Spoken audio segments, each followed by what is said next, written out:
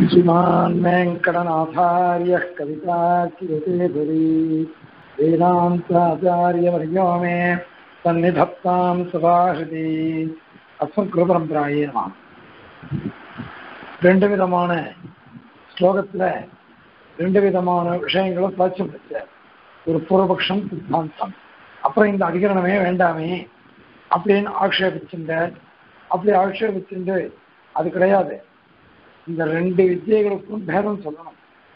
பேதம் சொன்னாத்தான் பேதம் சொன்னாத்தான் சாந்தோக்கியத்தில் சொல்லப்பட்டது சாதாரண அல்பமான படத்தை குறித்து பண்ணப்படக்கூடிய வித்தியை அதாவது பூர்ண ஆயுசு பலன் ஆனால் தைத்தரியத்தில் சொல்லப்பட்ட புருஷ வித்தியானது அதுக்கு முதல் அனுவாகத்தில் சொல்லப்பட்ட ஞாச வித்தியை அந்த ஞாச வித்தியை பிரதானமானது. அது சுதந்திரமானது. அதுக்கு அங்கமாக அல்லது பிரசம்சார்த்தமாக பிரசம்ச பண்றதுக்கு கொடுக்குறோம் அந்த மாதிரி இந்த வித்தியானது சொல்லப்பட்டிருக்கு. அப்படி சொன்னா என்ன ஆகும்? இது அஸ்வதந்திரமான வித்தியை சரணாகதி வித்தியைக்கு இது ஸ்தோத்திரமா இருக்கலாம். அல்லது அங்கமா இருக்கலாம். அதுபோல தான் சொல்லப்பட்டிருக்கு இந்த இந்த வித்தியை அத இப்படி சொன்னாதான் வேதம் சொன்னாதான் ரெண்டு உபநிடத்திலையும் சொல்லப்பட்ட புருஷ பேதம் சொல்லணும்.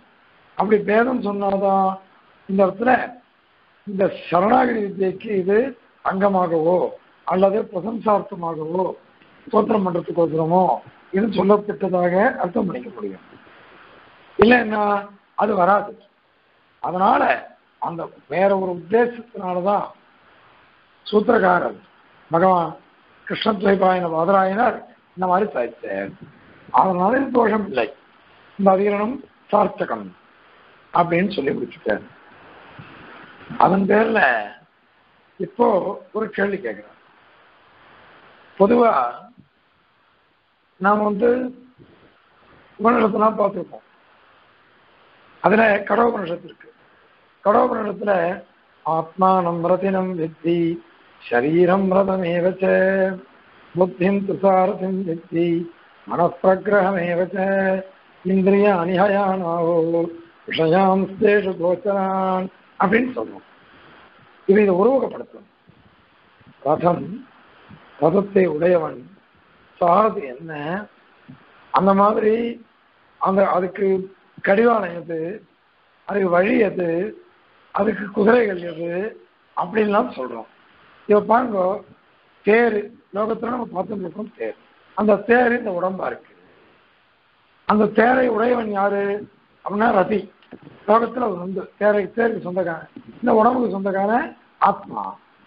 ஆத்மானம் ரஜனம் வித்தி சரீரம் ரஜனம் அது மாதிரி புத்தின்ட்டு சாரதி. புத்தி தான் சாரதியா இருக்கு. ஏன்னா லோகத்துல தேருக்கு சாரதி ஒருத்தம் உண்டு.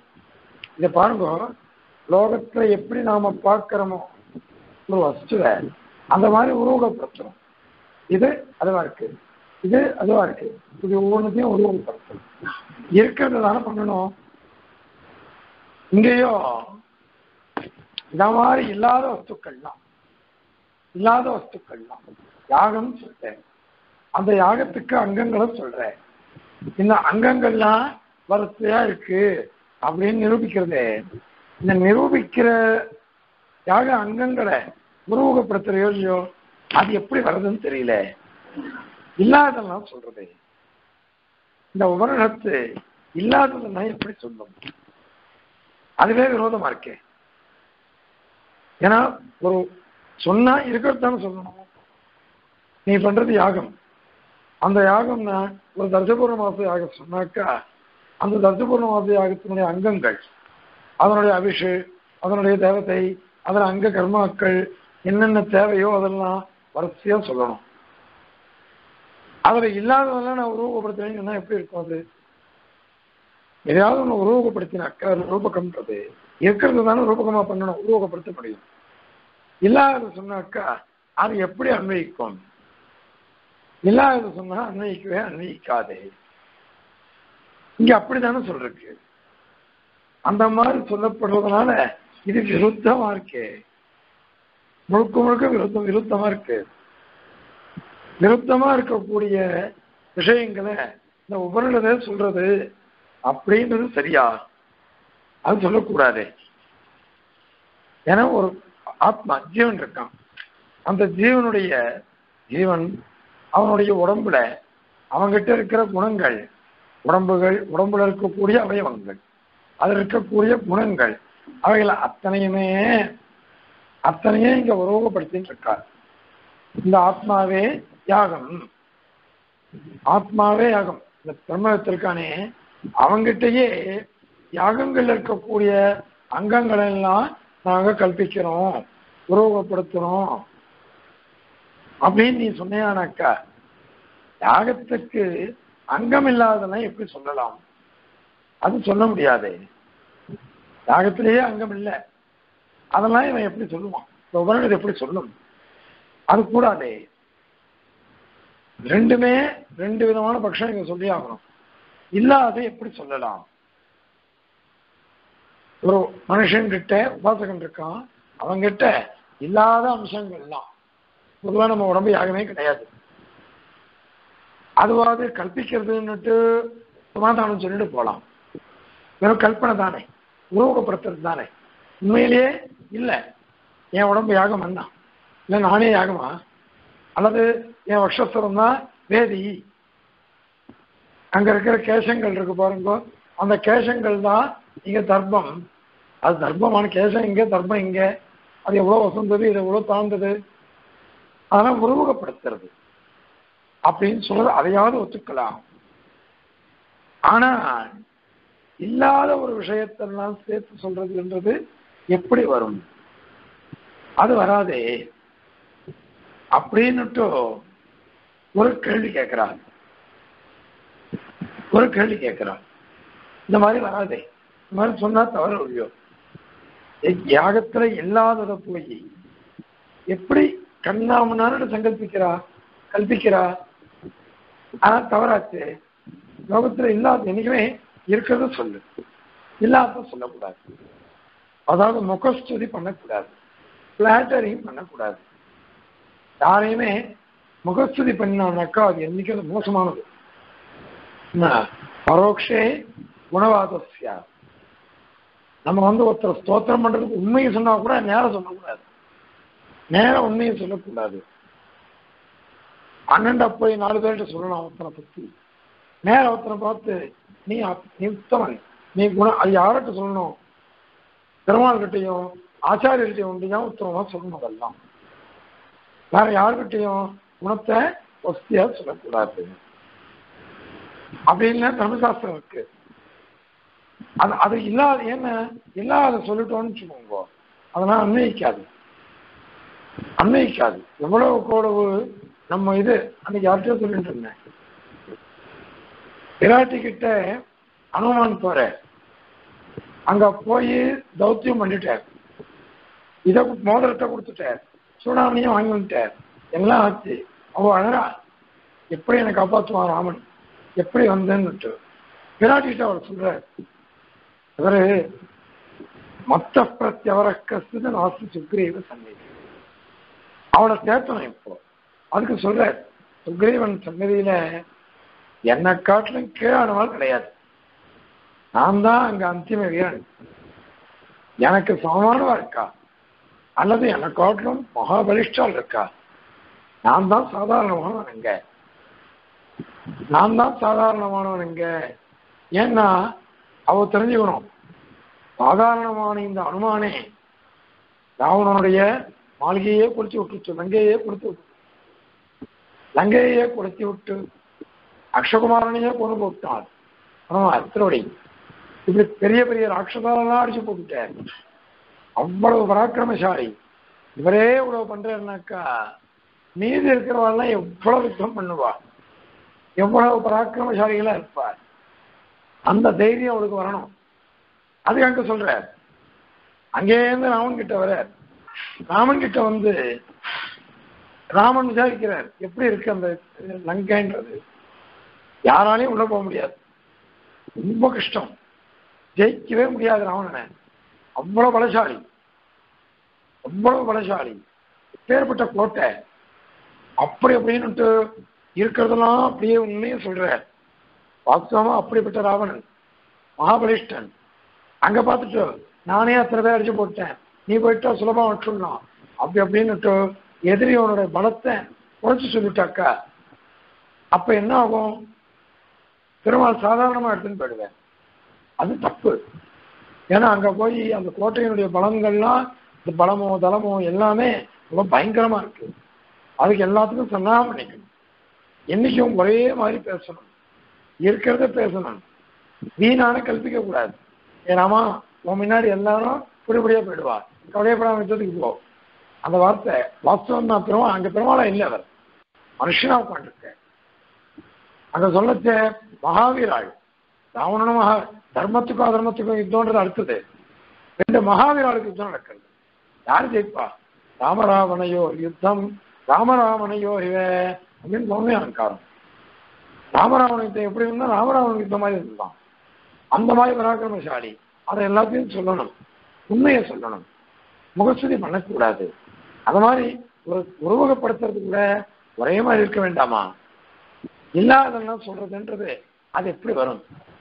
இல்லாத சொல்லவே கூடாது. இல்லாதெல்லாம் இங்க சொல்றதுக்கு யாகங்களே யாகங்கள்லாம் யாகங்கள்ல இல்லாத விஷயங்கள். நிறைய இங்க சொல்றது. அதுக்கு எப்படி அர்த்தம் வரும்? எப்படி அதை சொல்றது? அதுக்கு என்ன சமாதானம்? அப்படின்னுட்டு கேள்வி கேட்கிறார். அந்த கேள்விக்கு ரெண்டு விதமான சமாதானம். ரெண்டு எங்க திருஷ்டி இருக்குது இங்க. இந்த மாதிரி சொல்றது ஒரு ஞாச ஞாச வித்யா நிஷ்டன்ட்ட இந்த மாதிரி சொல்றது. ஒருத்தர் சரணாகதி பண்றான். சரணாகதி பண்ற இந்த இவனுக்கான உபாசகன் பக்த பிரபண்ணன் அவங்கிட்ட இதெல்லாம் சொல்றது. இந்த மாதிரி உருவகப்படுத்துறதுன்றது இங்க சொல்லப்பட்டிருக்கு. அது பரியந்தம் ஒத்துக்கிறோம். அது பர்யந்தம். அப்படியே ஏற்றுக்கணும்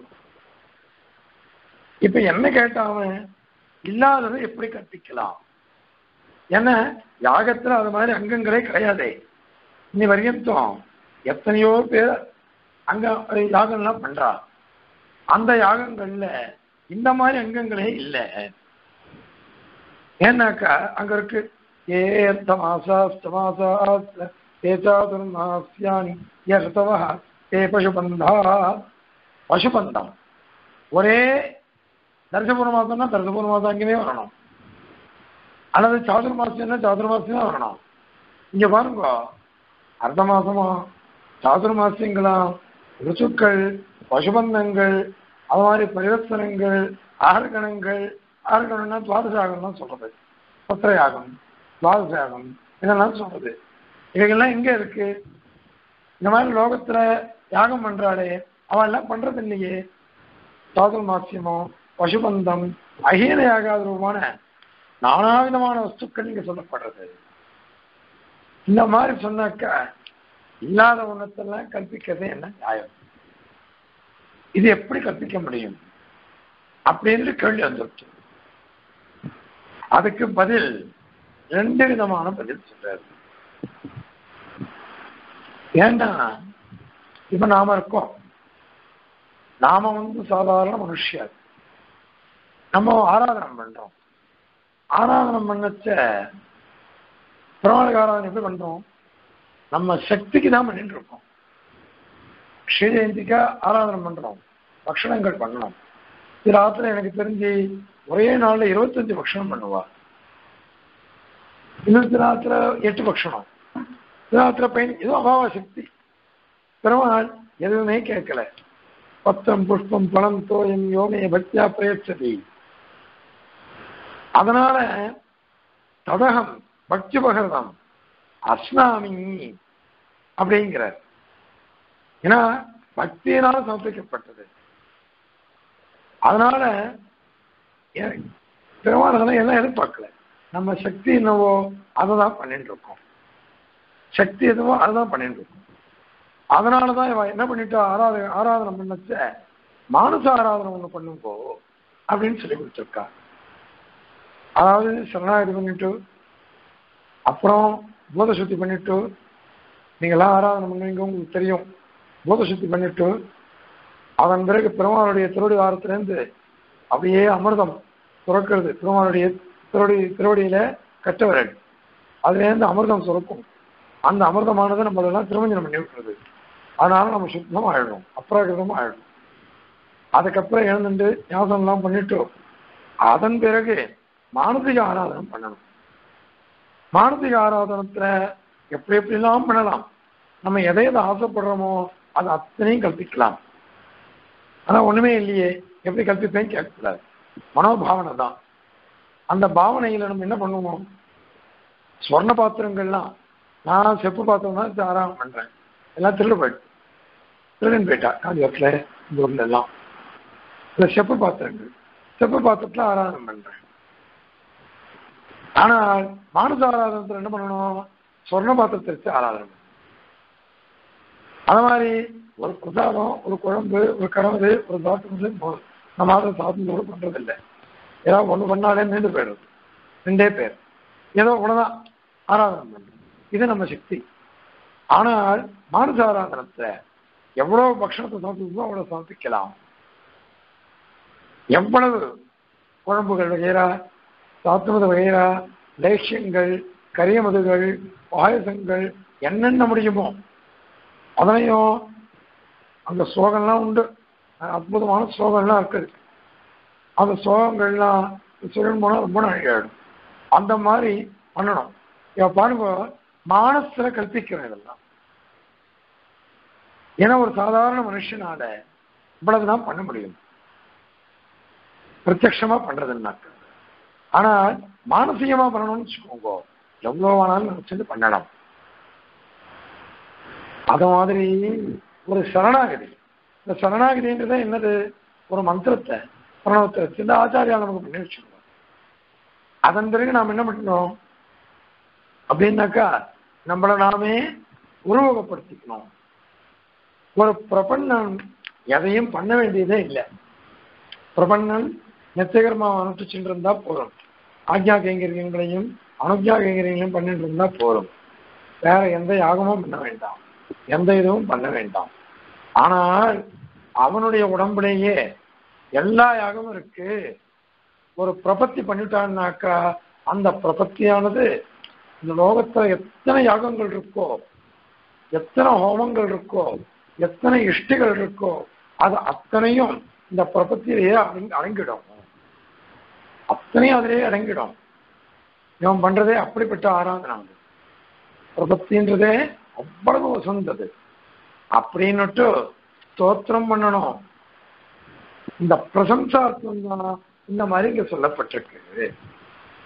அவனுக்கு மானசிக ஆராதனம் அதில் எவ்வளவோ நாம கல்பிக்கிறோம் எவ்வளோ கல்பிக்கிறோம் ஏன்னா நமக்கு பிடிச்சிருக்கு. திருமாலுக்கு எப்படி எப்படியோ சமர்ப்பிக்கணும் எப்படி எல்லாம் பாவனை. எல்லாம் ஆசைப்படுறோம். அத்தனையும் நம்மளால பண்ண முடியறதில்லை. அது ஸ்ரீஜெயந்தியா இருந்தாலும் சரி ரத்ன ஜெயந்தியா இருந்தாலும் சரி ஸ்ரீ ராவணாமியா இருந்தாலும் சரி. எதுவாக இருந்தாலும் நாம சக்திக்கு தான் நம்மளால பண்ண முடியும். அதனால இங்க எல்லாமே இங்க எல்லாமே எப்படி அப்படின்னாக்கா ஸ்துதி தான் ஸ்தோத்திரம் தான் பண்றோம். அர்த்தவாதம் பண்றோம். அந்த மாதிரி கணக்கு. அதனால சாதுர்மாசியாக இருக்கு. அந்த மாதிரி பசுபந்தம் இருக்கு. அஹீனம் இருக்கு. சத்திரம் அஹீனம். அது மாதிரி துவாதசாகம் அந்த மாதிரிலாம் இருக்கு. இதெல்லாம் இருக்குதே. இல்லாதெல்லாம் எப்படி கல்பிக்கலாம் அப்படின்னு கேள்வி கேட்டுட்டாக்கா அதுக்கு பதில் இதான். இதான் அதுக்கு பதில். என்னென்ன ஸ்தோத்திரம் பண்றது? ஒரு சரணாகதியை பண்ணிட்டாக்கா அந்த சரணாகதிக்கு சமம் எதுவுமே கிடையாது. சரணாகதிக்கு சமம் எதுவும் இல்லை. எப்படி பண்ணாலும் சரணாகதி ரொம்ப வசந்த உபாயம். அதை சொல்றதுக்கோசரம் அந்த சரணாகதியிலேயே அத்தனை யாகம் கூட அடங்கி போயிடுறது அத்தனை யாகங்களும் அடங்கி போயிடுது. இதுக்கு தனியாக எதுவுமே பண்ண வேண்டாம். அதனால ஸ்தோத்திரம் பண்றதுக்கோசரம் இந்த மாதிரியாக இந்த உருவகப்படுத்துறது. இல்லாத அகங்கள் இல்லாத அங்கங்கள் இதெல்லாம் கூட பிரபத்தியானது அவங்க சொன்னோம் அதுக்கு ஸ்தோத்திரமாக அர்த்தவாதமாக இங்க சொல்லப்பட்டிருக்கிறது. இதுதான் கிரமம் இது ஒரு சமாதானம் ஆயிடுது இன்னொரு சமாதானம் ஒன்னு இருக்கு. இந்த வேதம் இருக்கே. வே- உபனிஷத்து வேதம் தானே. வேதம் ஒண்ணு சொல்லித்தன்னாக்கா அதை கேள்வி கேட்கறதுக்கு நாம யாரு? வேதம் ஒண்ணு சொல்லிடுச்சோம்னாக்கா அதை கேட்கறதுக்கு கேள்வி கேட்கறது நமக்கு யாருக்கும் அறியா அறியா அறியாத கிடையாது. தகுதியும் கிடையாது அதிகாரியும் கிடையாது. நம்ம அதிகாரமே நமக்கு கிடையாது. வேதம் என்ன சொல்றதோ அதை அப்படியே ஏற்றுட்டு போகணும். நம்ம வந்து நமக்கு தெரிஞ்சது என்னது? இன்னைக்கு அத்தியனம் பண்ணவா? ஒரு பத்து லட்சம் பேர் இருக்கான்னு வச்சுக்கோங்க. பிராமணாள். அதுல ஒரு நூறு பேர் அத்தியனம் பண்ணியிருந்தானே பெரிய விஷயம். அந்த மாதிரி தான் இருக்கு. அது கூட என்ன? அவாவா சாக்கையை தான் அத்தியனம் பண்றாங்க எல்லா சாக்கையும் யாரும் அத்தியனம் பண்றது அந்த சாக்கையை அத்தியனம் பண்ணா கூட அதுக்கு அர்த்தமே இவனுக்கு தெரியாது. அர்த்தமும் தெரியாது. அதுல என்ன சொல்லப்பட்டிருக்கு? யாரும் தெரியாது. யாகங்கள் பண்றவா அத்தியனம் பண்றவாளே குறைவு. யாகம் பண்றவாளோ ரொம்ப ரொம்ப குறைவா இருக்கா? நிறைய யாகம் பண்றவா அது இல்ல. ரொம்ப குறைவான தான் இருக்கா? அவளும் கூட எத்தனை யாகம் பண்ணிட்டா? மேல மேல போனாக்கா ஏழு யாகம் ஆறு யாகம் தான் பண்ணிருக்கா. வருட மாசம் லோகிஷ்டாமம் அக்னிஹோத்திரம் புண்டரீகம் இந்த மாதிரி பாதுகேயம் பசுபந்தம் இஷ்டி சாதுர்மாசியம் இப்படி மேல மேல ஏழோ எட்டோ தான் பண்ணிருக்கான். அவ்வளவுதான் வேதத்தில் சொல்லப்பட்டிருக்கு எத்தனை யாகங்கள் லட்சக்கணக்கான யாகங்கள் இருக்கு. அது அத்தனையும் அறிஞ்சவா யாரு? அதனால வேதம் வந்து நிறைய சொல்லும். நிறைய வேதம் சொல்லும். அது சொல்லிட்டோம்னாக்க அந்த வேதத்துல எவ்வளோ அங்கங்களை சொல்லும். இன்னைக்கு சோமனத்தையே இல்லைன்னு சில பேர் சொல்றாரு இல்ல இல்ல அங்க இருக்கு இங்க இருக்குன்னுட்டு சில பேர் சொல்றாங்க. நாதமுனிகள் காலத்துல சோகம் எடுத்திருக்க சோமா சோ- வேதம் சொல்றது. சோமாபாவே ஆ, பூசீகம் சந்தனியாத் அப்படின்னு சொல்றது சோமனத்தை கிடைக்கலையா? பூசீகம்னு வரலதா ஒரு கொடி. அதை எடுத்துன்னு சோமயாகம் பண்ணும்போ அப்படின்னு சொல்றது. ஆனா நான் கேட்டதுக்கு சோமனத்தையே கிடைக்கிறதுன்னு சில பேர் சொல்றாரு பாஷகாரர் உதாரிக்கிறார் நாதமுனிகளுடைய ஸ்லோகத்தை சோமா அபாவே பூசீக சிரவணம் ஸ்ருதி சோ கிரகணம் ஸ்ருதி சோதித்தம் அப்படிங்கிறார். சோமனத்தை இல்லைன்னாக்கா இதை எடுத்துக்கோங்க பூதிகத்தை எடுத்துக்கோங்க முக்காவாசி பேருக்கு வேகத்தில் சொல்லப்பட்ட விஷயங்களே யாருக்கும் தெரியாது. அதற்கு சொல்லப்பட்ட நாமங்கள் பேர்கள். அதுக்கே அர்த்தம் தெரியாது. ஏன்னா நம்ம யார் வாசிக்கிறார்? யாருக்கும் தெரியறதில்லை. அதனால இப்போ இந்த இங்க என்ன இருக்கு? சாதுர மாசம் இருக்கு. அது மாதிரி பசுபந்தம் இருக்கு. அகீனம் இருக்கு. இதுக்கெல்லாம் எத்தனையோ இருக்கு. இவைகள்லாம் அங்கமா பிடிச்சிருக்கு. இந்த மாதிரி யாகத்துக்கு இல்லையே. நம்ம பார்த்த யாகத்துல இல்லையேன்னு அவன் கேள்வி கேட்டான். அதுக்கு ஒரு பதில் இது ஸ்தோத்திரம். பிரசம்சை பண்றது. அர்த்தவாதம். அதனால அது தோஷம் இல்லை அப்படின்னு அவன் சொன்னோம் ஒன்று சமாதானம். இன்னொரு சமாதானம் இந்த மாதிரி ஒரு யாகம் இருக்கு அப்படின்னு வேதம் சொல்றது. அது இல்லைன்னு சொல்றதுக்கு நீ யாரு? அது இல்லைன்னு உன்னால எப்படி சொல்ல முடியும்? அதை நீ சொல்ல முடியாது. வேதத்துல எவ்வளவோ யாகங்கள் எவ்வளவோ ஹோமங்கள் எத்தனையோ சொல்லிருக்கு எத்தனையோ அங்கங்கள் சொல்லிருக்கு. அது இல்லைன்னு சொல்றதுக்கு நாம அதிகாரம் இல்லை. அதிகாரமே இல்லை. அந்த மாதிரி இதை வந்து எம்பெருமானார் கூட திருவள்ளுவர். ரெண்டுமே திருவள்ளம் ரெண்டுமே ரெண்டு சமாதானமும் திருவள்ளம் அந்த மாதிரி ஒரு யாகம் இருக்குன்னு மேலும் சொல்லி உபனிஷத் அதை அப்படியே ஏற்றுக்கோங்கோ அதில் போய் இந்த மாதிரி கேள்வி கேட்கறது தேவையில்லை. கேள்வி கேட்கறது தேவையில்லை. அதனால ரெண்டு பட்சம் இருக்கு இங்க. இந்த ரெண்டு பட்சமும் சரியா தவறா? அப்படின்னாக்கா ரெண்டுமே பாஷ்யகாரர் சாதித்த விஷயத்துக்கு அனுகூலமா இருக்கு. அது ஸ்தோத்திரமாவும் வச்சுக்கலாம். இந்த மாதிரி ஒரு யாகம் இருக்கும் கூட வச்சுக்கலாம். அப்படின்னாக்கா அப்ப என்ன அர்த்தம்? எது பரமார்த்தம்? ரெண்டும் சரின்னு சொல்றதா? ரெண்டும் சரியா? அல்லது ஒண்ணுதான் சரியா? அப்படின்னா அங்க ரெண்டுத்துக்கும் சமாதானம் சொல்ல முடியும். ஸ்தோத்திரம் தான் அப்படின்னு சொன்னால் என்ன அர்த்தம்? அப்படின்னா என்னோட வித்தியைக்கு முன்னாடி சொல்லப்பட்ட சரணாகதி. வித்யா. அந்த சரணாகதி வித்தியை ஞாச வித்தியக்கு இது ஸ்துதி ஸ்தோத்திரம். இது இது சரணாகதி வித்தியக்கு ஸ்தோத்திரமா இருக்கவே அப்போ வித்யா பேதம் தான் அந்த சாந்தோக்கியத்தில் சொல்லப்பட்ட புருஷ வித்யா வேற. இந்த புருஷ வித்யா வேற. ஸ்தோத்திரம். அப்படின்னு ஒரு அர்த்தம் வந்துடும் இன்னொன்று இந்த யாகமே இது வேற. இது தனி யாகமா இருக்கு. புருஷ வித்தியில. ஞாச வித்தியில சொல்லப்பட்ட ஆஹ், ஞாச வித்தியைக்கு அடுத்தது சொல்லப்பட்ட புருஷ வித்தியை இருக்கு. அதில் சொல்லப்பட்ட யாக அங்கங்கள் வேற. சாந்தோகத்தில் சொல்லப்பட்ட யாக அங்கங்கள் வேற. இது ரெண்டாவது பட்சம். அதாவது ஒரு யாகமாவே இருந்துன்னு வச்சுக்கலாமே. அப்படின்னு வச்சுட்டோம்னாக்கா அது அப்படி சொன்னா கூட ரூப பேதம் இருக்கே. சாந்தோகத்தில் சொல்லப்பட்ட புருஷவத்தியில் இருந்த ரூபமும் தைத்திரியத்தில் சொல்லப்பட்ட புருஷ வித்தியில் இருந்த இந்த அங்கங்கள் இவைகளும் வேற வேறையா இருக்கு. வேற வேறையா இருக்கிறதுனால ரூபபேதம் அதனால வித்யாபேதம் வித்யாபேதம் வித்யாபேதமாகப்படவே இந்த புருஷ வித்தியை வேற அந்த புருஷ வித்தியை வேற. இதான் படிதம். அதனால ரெண்டு சமாதானம் கேள்வி இந்த ஞாச வித்தியில எக்கச்சக்கமா யாகங்கள் அதனுடைய அங்கங்கள்லாம் படிக்கப்பட்டிருக்கு. அவைகள்லாம் வசுதாக நம்ம லோகத்துல பார்க்கிற யாகங்கள்ல இல்லையே. இல்லாத அங்கங்களை எப்படி இங்க சொல்லித்து வேதம்? அப்படின்னு கேள்வி.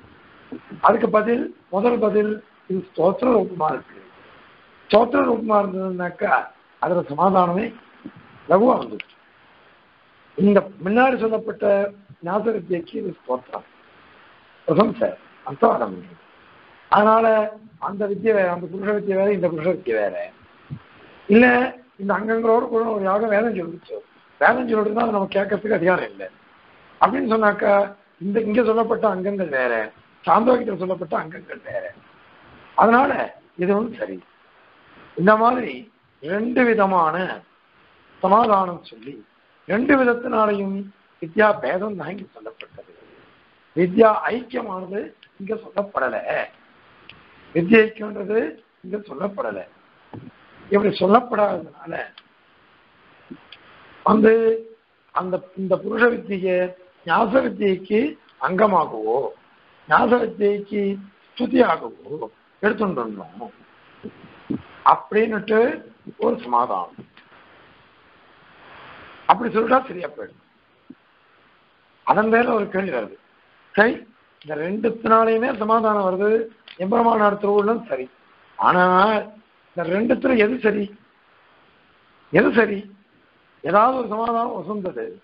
இது என்ன இருக்கு. இது என்ன இல்லைன்னு சொல்ல முடியும் அப்படின்னாக்கா குமார வரதேசின் திருவுள்ளம். சுவாமி தேசியனுடைய திருவுள்ளம் என்னன்னா இது வந்து முதல் பட்சம் இருக்கு. அதுதான் யுக்தி யுக்தம். தோத்திரம் தான். ஏன்னா சரணாகதியானது ரொம்ப வசந்தது. சரணாகதிக்கு சமம். சரணாகதிக்கு சமம் எதுவுமே கிடையாது. சரணாகதி சாஸ்திரம்ன்றது சிவராமாயணம். அதுக்கு சமம் எதுவும் கிடையாதுன்னு சொல்லுவோம் ஏன்னாக்கா சரணாகதி ஒஸ்தியா தூக்கி பிடிக்கிறது அந்த காலத்துல எவ்வளவோ யோகிகள் இருந்தா எத்தனையோ யோகிகள் இருந்தா கூட ஸ்ரீமத் ராமாயணம் முழுக்க முழுக்க சரணாகதி ஒஸ்தியா சொல்லிட்டு போயிருக்கு அதனால பிரபத்தி முக்கியம்.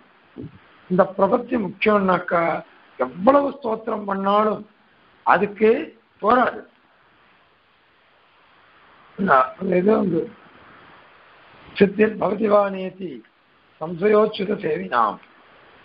ஒரு ஸ்லோகம் தேசியம் இருக்கிறார் ஒருத்தன் பக்தியோக நிஷ்டம் இருந்தான்னாக்கா அவனுக்கு சித்திக்குமா சித்திக்காதான்னு சந்தேகம் வருமா? ஆனால் பஞ்ச அங்கங்களோட கூடின இந்த சரணாகதி ஒருத்தன் நொட்டிச்சான்னாக்கா அவனுக்கு ஒரு லேச தூடு சந்தேகம் கூட அவனுக்கு வராதான் அந்த மாதிரியாக வசந்தது எது? அவ்வளவு வசந்த சரணாகதி. அதை எவ்வளவு ஸ்தோத்திரம் பண்ணாலும் ஆகும். அதனால யுக்தி யுக்தமா இருக்கிறதுனால இந்த ஸ்தோத்திரம் பண்றதுன்றது தான் இந்த ஆஹ், ரெண்டு பட்சத்துல முதல் பட்சம் ஸ்தோத்திரம் பண்றதுன்றது தான் முதல் பட்சம் அதுதான் சரியானது. அதுதான் தேசிகனுக்கு திருமணம் கொடுப்பாரு அதனால பல யாகங்கள் என்ன இருக்கிறதுன்னாக்கா என்ன அர்த்தம்? ஒரு சரணாதி ஒருத்தம் பண்ணிட்டான்னாக்கா அந்த சரணாதிக்கு சமமாக இத்தனை யாகங்கள் வந்தாலும் நேரம் நிற்க முடியாது. அவ்வளோ யாகங்களும் சரணாகிதிலே இருக்கு. இருக்கு. பெருமாள் சொல்லிட்டு போயிட்டாரு. மாமேகம் சரணம் அதையும் சொல்ல போறார். அது மாதிரி அவயம் சர்வபூதேபியா. சகதேவ பிரபன்னாய. அவயம் தேவியா இப்படின்லாம் சொல்லிட்டாரு பெருமாள் இந்த மாதிரி சரணாகதி அவ்வளவு வசதியா சாச்சிட்டு போயிட்டாரு நம்ம சொல்லல. பெருமாளே சொன்ன வாக்கியம். அதனால ஸ்ருதி என்ன பண்றது? ஸ்ருதியில சொன்னதுதான் பெருமாள் சொல்ற அந்த ஸ்ருதியோ அப்படி கொண்டாடுறதுன்னு அர்த்தம். அதுதான் இந்த அர்த்தம். அதனால சரணாகதியினுடைய புகழ் தோற்றம் அதை தூக்கி வச்சுக்கிறது. அதை சொல்றதுலதான் வேதத்துக்கு நோக்கு. அப்படின்றத சுவாமி நிர்ணயம் திருவுள்ளமாக குமாரன் வந்து பார்க்கிறார். அதுதான் இந்த ஸ்லோகத்துல அவ்வளவு அழகா விளையாடுகிறார் இப்போ ஸ்லோகம் பாருங்க. எத்யேவம் யஜ்ஞதிருஷ்டி பரவிதி புருஷே சோத்யதே தானுபந்தே யஜ்ஞஸ்ய அனங்கபூதம் கதமிக விவிதம் கல்பியதே தத்திர தத்திர तस्मात् प्रक्रान्तविद्या स्तुतिरिय उचितेति आहुरेके अन्यथान्ये तिष्ठत्वे तत् द्विधापि प्रकृतसुघटता सम्प्रदायस्तु चिन्त्यः சாணுபந்தே பறவை அதாவது அங்க சொல்லச்ச என்ன சொல்றது சுத்தா பத்னி சரீரம் வித்தமரோ வேதிரோ அப்படின்லாம் சொல்லிருக்கு ஒரு புருஷனுடைய சரீரம். அந்த அதே மாதிரி புருஷனுடைய மனோபாவங்கள் அவனுடைய குணங்கள் இவைகள்லாம் அந்த அனுபந்திகளில் ஒரு யாகத்துக்கு வேண்டிய யாகத்துக்கு வேண்டிய அங்கங்கள்லாம் கற்பிக்கப்படுறன அதாவது பரவிதி தானுபந்தே பரவிதி. இந்த உடம்புகள் குணங்கள் பாவங்கள் இவைகள்லாம் இருக்கக்கூடிய ஞாசவித்யானிஷ்டன் பரவிதி புருஷே. அந்த உபாசக நடத்தில் பிரபண்ண நடத்தில் அந்த அனுவாகத்தை சொல் ஏவம் அந்த அனுவாகத்தில் சொல்லப்பட்ட பிரகாரமாக யஜ்ய திருஷ்டி சோத்தியதே. சோத்தியதைன்னா விதிக்கப்படுகிறது. யாகமானது விதிக்கப்படுகிறது. யாக திருஷ்டி. இந்த மாதிரி யாகம் மாதிரி பார்க்கணும். அந்த பிரபண்ணன் இருக்கானே அவனையே யாகமாக பார்க்கணும். அவனே யாகம். அந்த யாகத்தில் அந்த ஆத்மா இருக்குதே அவன்தான். அந்த புருஷனே எஜமானன். அவனுடைய சிரத்தைன்னு ஒரு குணம் இருக்கு. அதுதான் பத்னி. அந்த மாதிரி அவனுடைய மார்பு. அதுதான் வேதி வேதிக்கா யாக வேதிக்கா அத தர்மம் என்ன? அது மாதிரி நெய் என்ன? தீட்சை என்ன? இந்த மாதிரி வரிசையா கல்பிச்சுட்டு போறது. இந்த மாதிரி நம்ம இந்த மாதிரி திருஷ்டி பண்ணணும். பார்வை. இந்த மாதிரி பாவனை பண்ணணும். அப்படி ஒத்துண்டாக்கா? ஈக இந்த வித்தியில இந்த அனுவாகத்துல தத்திர தத்திர அங்கங்க யஜ்ஞஸ்ய அனங்க பூதம். யாகத்துக்கு அங்கம் இல்லாதது விவிதம். ஏ ஏ அர்த்த மாசாஸ்த மாசாஸ்த ஏ சாதுர்மாஸ்யானி ஏ ரிதவः ருதுக்கள். அந்த ரிசுக்கள் தான் சோதர சாதுர்மாசியங்களாம் அர்த்த மாசம் மாசம்லாம் சோதர மாசம் ரிதுக்கள் இருக்கு பாருங்க வசந்த ரித்து அந்த மாதிரி கிரீஷ்ம ரித்து வருஷ ரித்து இதெல்லாம் சொல்றமே இவைகள்லாம் பசுபந்தங்கள் பசுபந்தம் இஷ்டிகள் யாகங்கள். ஏ சம்வத்சராஸ்த பரிவத்சராஸ்த நம்ம ஜீவிக்கிறோமே. நம்ம எத்தனை வருஷம் ஜீவிக்கிறோம்? அவைகள்லாம் அகர்கணா. ஆர்கணம்னாக்க சத்திர யாகம் அஹீன யாகம் துவாதசாக யாகம் இந்த மாதிரிலாம் யாகங்கள் இருக்கு. அந்த யாகங்கள்லாம் இவைகள். இப்படிலாம் அந்தந்த வாக்கியத்துல யாகத்துக்கு அங்கமற்றவைகள். ஒரே யாகத்துல இத்தனை அங்கம்லாம் இல்லை. அந்த மாதிரி மீமாம்சகர்லாம் விசாரணை பண்ணலை. திரௌதிகளும் அந்த மாதிரி பண்ணலை. அப்படி இருக்கச்ச சாதுர்மாசியம் பசுபந்தம் அகீனையாகாத ரூபமாக நானாவிதம் எவ்விதம்? கதம் கல்பியதை எப்படி உங்களால் கற்பிக்கப்படுறது? உங்களிடத்துல இப்படிலாம் கற்பிக்கிறது. அதை நாம கல்பிக்கணும்னு சொல்லி கொடுக்கறது. இல்லாத போய் சொல்றதே அது. அந்த மாதிரி சொல்லலாமா? அந்த மாதிரி சொல்லலையே. அதனால இதுக்கு என்ன சமாதானம் சொல்லுவீங்கோ? அப்படின்னு கேட்டா தஸ்மாத் யஜ்ய அண தஸ்மாத் யஜ்யத்துக்கு அங்கமில்லாதவைகள். அவைகள்லாம் கூட கற்பிக்கப்படுறது. இப்படி கற்பிக்கப்படுறதுனால அதுக்கு என்ன அதுக்கு சார்த்தக்கியம் என்ன பிரயோஜனம்? அப்படின்னு கேட்டாக்கா இயம். இது பிரக்ராந்த வித்யா ஸ்துதி உதிதா. இந்த மாதிரி கல்பனை இருக்கே. இது அந்த வித்யா இருக்கு பாருங்க. இந்த சரணாகதி வித்யா ஞாச வித்யா. இந்த ஞாச வித்யைக்கு சுத்தியாக இருக்கிறதுக்கு தகுந்தது. ஸ்தோத்திரமாக இருக்கிறதுக்கு தகுந்தது. பிரசம்சையா இருக்கிறதுக்கு தகுந்தது. இது ஏகே ஆகும் சில பேர் இந்த மாதிரி திருவுள்ளப்படுறான் மகாமேதாவிகளான ஆச்சாரியாள்லாம் இந்த மாதிரி அர்த்தம் பண்றாங்க. அவ்வளவு வசந்ததாக சில பேர் சொல்றாரு. இன்னும் சில பேர் சொல்றா இது ஒரு பட்சம்.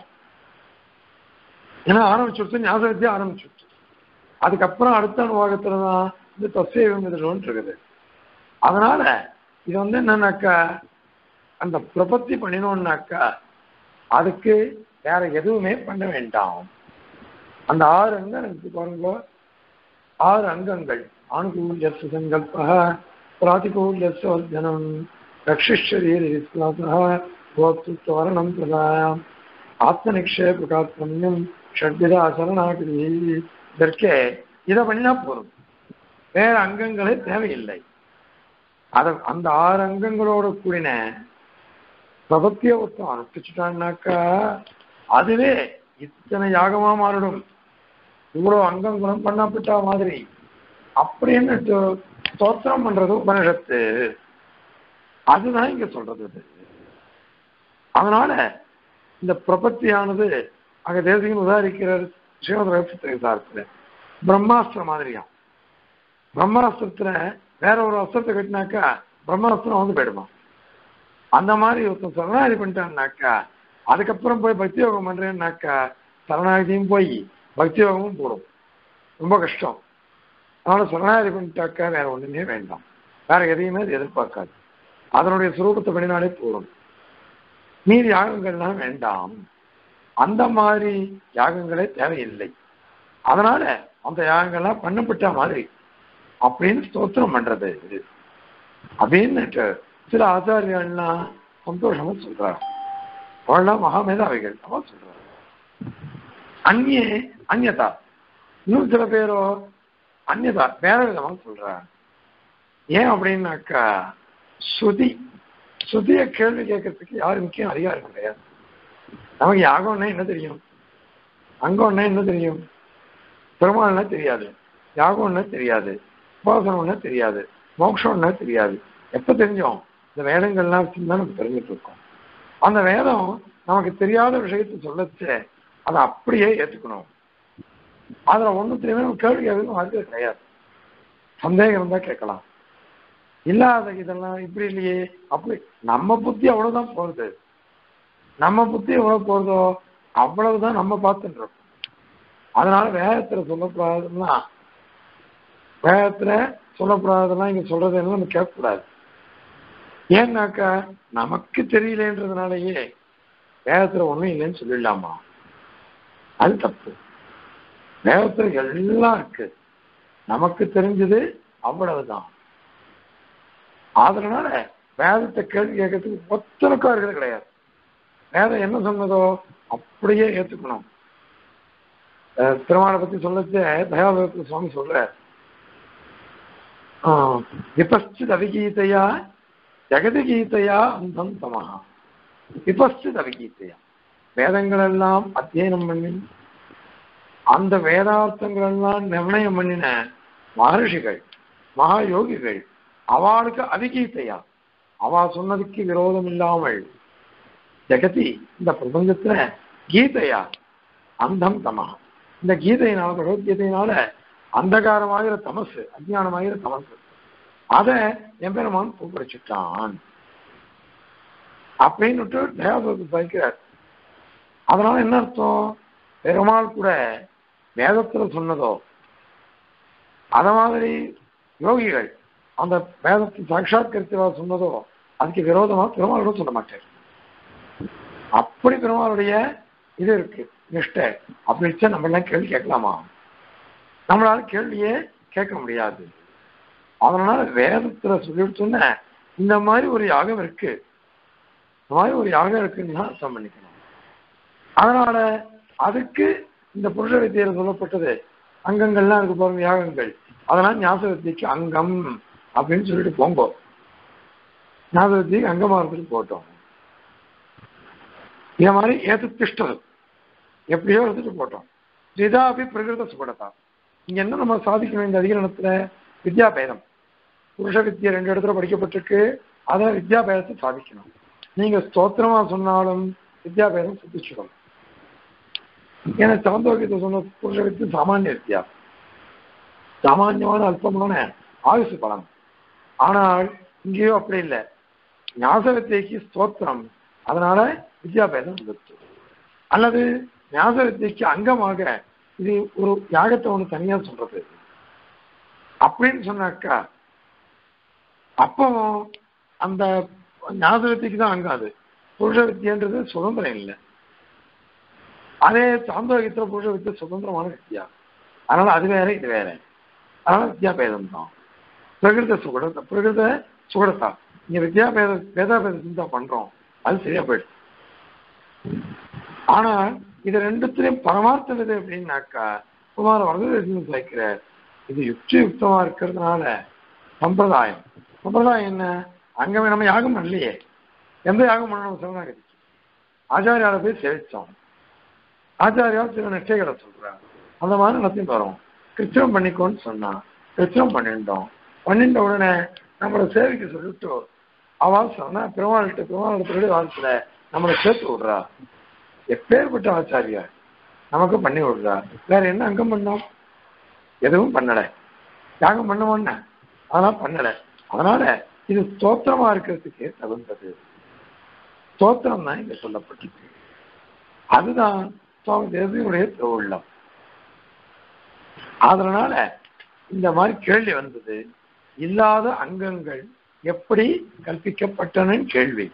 அதுக்கு ஒரு பதில் இது ஸ்தோத்திரமாக இருக்கட்டும். ஞாச வித்தியைக்கு ஸ்தோத்திரம். இன்னொரு சமாதானம் இது இது மாதிரி ஒரு யாகம் இருக்குன்னு வச்சுக்க வேண்டியதுதான். ஏன்னா வேதம் சொல்லிடுத்தே அதை யாரும் நம்ம கேள்வி கேட்க முடியும். ஏன்னா தர்மிகிராக பிரமாணம். நீங்க தர்க்கத்துல சொன்னாக்கா யுக்தியில சொன்னா தள்ளிவிடலாம் தர்மிகிராக பிரமாணம் சொல்லித்தன அதை அப்படியே தானே ஏத்துண்டாகணும். ஹிருதயத்து சப்தம் குணத்வாத் அப்படின்னு சூத்திரம் சொல்லிட்டோம். அதை ஏத்துக்கணும்னுட்டு ரெண்டாவது சமாதானம் சொல்லிட்டு ரெண்டு விதமாகவும் இந்த ரெண்டு புருஷ வித்தியைகளுக்கும் வித்யாபேதம் தான் சொல்லணும் அப்படின்னு சாதிச்சுட்டு வஸ்துதாக இந்த ரெண்டு சமாதானத்துல எது யுக்திதமா எது யுக்தமா இருக்கு அப்படின்னு கேட்டாக்கா முதல்ல சொன்ன ஸ்தோத்திர ரூபம். அதுதான் சரியா இருக்கு. அப்படின்றத இந்த ஸ்லோகத்தினால சுவாமி காய்ச்சி முடித்தார் இந்த ஸ்லோகம் பாருங்க.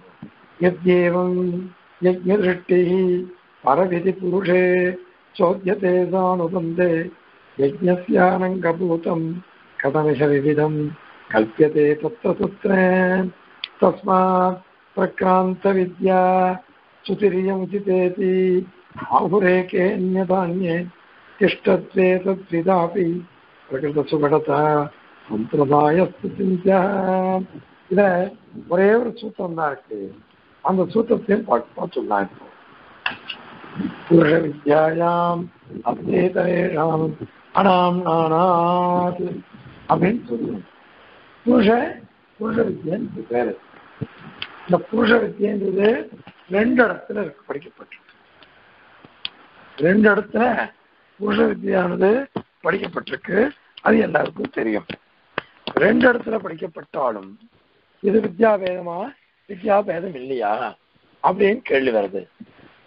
அப்போ வித்யைக்கும் பூர்வபட்சம் சொன்னாக்கா சித்தாந்தி வித்யா பேதம் தான் சொல்றேன். அந்த வித்யா பேதம் தான் அப்படின்னு சொல்றதுக்கோசரம் இந்த சூத்திரம் வருது. புருஷ வித்யாயாம். ரெண்டு இடத்துலையும் சொல்லப்பட்ட புருஷ வித்தியை இது புருஷ வித்தியில அப்பிச்ச அப்படின்னு புருஷ வித்தியாயாம் அப்பி என்னன்னாக்கா புருஷ வித்தியில கூட இதரேஷாம் அனாம் நாமாது வித்யாபேதம். இதர இன்னொரு இடத்துல ரெண்டு இடம் இருக்கும் இல்லையோ? இங்க சொல்லப்பட்டது அங்க சொல்லப்படல. இங்க சொல்லப்பட்டது அங்க சொல்லப்படல. அங்க சொல்லப்பட்டது இங்க சொல்லப்படல. இது நம்ம நேரம் பார்த்துருக்கோம். நேர நாம இதை பார்த்துருக்கோம். இது தகுந்த விவரத்தினே பார்த்து முடியாது அது சொல்றது அது. அது சொல்றது. அந்த மாதிரி ஒரு இடத்துல சொல்லப்பட்டது இன்னொரு இடத்துல சொல்லப்படலை. அதுதான் யுக்தியே அந்த யுக்தி இருக்கிறதுனால இந்த புருஷ வித்தியானது வேற வேறதான். தான் ரெண்டும் புருஷ வித்தியா இருந்துட்டு போட்டோம். இந்த அப்படின்னாக்கா என்ன அர்த்தம்? அர்த்தாங்கிட்டான் புருஷ வித்தியாங்கிறது உண்மைதான். ரெண்டுமே புருஷ வித்தியை தான் ரெண்டுமே புருஷ வித்தியா இருந்தா கூட வேற. அங்க சொல்லப்பட்ட அங்கங்கள் வேற இங்க சொல்லப்பட்ட அங்கங்கள் வேற. அங்க கற்பிக்கப்பட்டவைகள் வேறு. இங்க கற்பிக்கப்பட்டவைகள் வேறு. ஒரு சாகையில சொல்லப்பட்டது இன்னொரு சாகையில சொல்லப்படல. அது நிறைய உதாரணம் முதல் ஸ்லோகத்துல போய் சொல்லிட்டோம். அதாவது சவணங்கள் தீட்சை பத்னி இந்த மாதிரி ஒவ்வொன்றும் அது மாதிரி பலபேதமா இருக்குதுன்னு சொல்லிட்டோம். ஒரு இடத்துல சொல்லப்பட்ட பணம் வேற. இன்னொரு இடத்துல சொல்லப்பட்ட பணம் வேற. பலபேதம் இருக்கு. இதெல்லாம் இருக்கிறதுனால வித்யாபேதம் புருஷ வித்யாயாம் அப்படி இதரேஷாம் அனாம்னான புருஷ வித்தியாசம் இருந்தா கூட ஒரு வித்தியால சொல்லப்ப ஒரு இடத்துல சொல்லப்பட்ட குணங்கள் இன்னொரு இடத்துல சொல்லப்படாது. அதனால வித்யாபேதம் தான். இதை ஒரே ஒரு சுவாரஸ்யம் பார்த்துருக்காரு என்னன்னா பொதுவாக சுதப்பிரகாசிகளை என்ன பண்ணுவாருனாக்கா இந்த மாதிரி ஒவ்வொரு சூத்திரத்திலையும் தொண்ணூத்தி ஒன்பது பர்சன்ட் ஐநூத்தி நாற்பத்தி ஆறு சூத்திரங்கள்ல ஐநூத்தி நாற்பத்தஞ்சு சூத்திரம். அப்பா சொல்லிட்டேன். ஐநூத்தி நாற்பத்தஞ்சு சூத்திரம் நூத்தி ஐம்பத்தி ஆறு வீரணம் ஒவ்வொன்றுத்திலையும் தூ அபரேத்து தூணுட்டு அதாவது அத்வேதிகள் பரையத்து அபரேத்து யாதவ பிரகாசரோ பாஸ்கர வேதாந்தியோ. இந்த மூணு பட்சம் அத்வேதிகள் பாஸ்கர வேதாந்திகள் யாதவ பிரகாஷால். மூணு பேர் மதத்தையும் இந்த மாதிரி சலிச்சுப்பார் சொல்லி சூத்திர பேதம் உண்டுனாக்கா சூத்திர பேதமோ அக்ஷர பேதமோ பாடபேதமோ எது இருந்தாலும் சரி எல்லாத்தையும் கண்டிப்பேன். ஆனா இந்த அதிகரணத்துல மாத்திரம் புருஷ வித்யாயாம் அபிச்சேதரேஷாம் அனான்னானா நம்ம சூத்திரம். வந்து சங்கராச்சாரியம் பண்றாருனாக்கா புருஷ வித்யாயாம் இவச்சேதரேஷாம் இவன் போட்டு இந்த நம்மளது அப்பி அவன் இவன். அப்ப என்ன அர்த்தம்? ரெண்டு புருஷ புருஷவத்தியா புருஷ வித்தியா இருந்தா கூட அப்படின்னு கூட அப்படின்னு சமச்சயம் இவன்னாக்கா புருஷ வித்யா மாதிரி இருந்தா கூட அப்படின்னு கேட்டேன். இப்ப இவன் தானே போட்டிருக்கிறவ? அதை கண்டிக்க வேண்டியதுதான் சு சுபப்பிரகாஷ் சார். கண்டிக்கவே இல்லை. நிரசிக்கல ஏன்னாக்கா அவ ஞாச வித்தியன்னு அவன் சொன்னான் சன்னியாச வித்தியம் நாமளும் என்ன சொல்றோம்? இது சரணாகதி வித்தியம். மொத்தத்துல சாந்தோக்கியோக இடத்துல இருக்கிற மாதிரி இவன் தான் போட்டிருக்கு. அத மாதிரி இது இருக்கு. ரெண்டும் புருஷ மாதிரி இருக்கு. உண்மையிலேயே அது வேற இது வேற தான் அப்படின்றது திருவள்ளம். அதனால சூத்திரக்காரர் புருஷ வித்யாயாம் அபிஷேகம் சொன்னேன்றது நம்மளுடைய எம்பெருமான திருவுள்ளம். ஏன்னா பிரத்ய கிரந்தத்தை பார்த்துவார் பிரத்ய கிரந்தத்தில் அது மாதிரி ஸ்பஷ்டமா இருக்கு. அதனால அதை வச்சு எம்பெருமான சாதிச்சார் சங்கராச்சாரியர் அவன் எதை பார்த்தாரோ தெரியாது. புருஷ வித்யாயம் இவன் சொல்லிருக்க ஆனாலும் சிவபிரகாசிகள் கண்டனம் பண்ணல. அதனாலேயே என்ன ஆயிடுச்சோ? இது ரெண்டுத்தையும் ஒத்துக்கலாம்.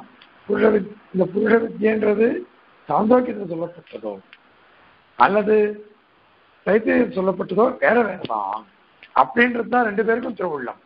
அதனால அந்த விஷயத்தை எடுத்துக்கணும் அப்படின்னு சொல்லிட்டு உத்தம சுவாமி சேர்த்திருக்காரு இந்த மாதிரி சொல்லப்பட்ட புருஷ வித்தியானது ஐக்கியத்தை உடையதன்னு வேதத்தை உடையதுதான். அப்படின்றத இந்த அதிகாரத்தினால தாய்ச்சி முடித்து கவிதாக்கிகவின் மகாநாய கல்யாண குணசாலினே ஸ்ரீமதே வெங்கடேஷாய வேதாந்த குருவே நம.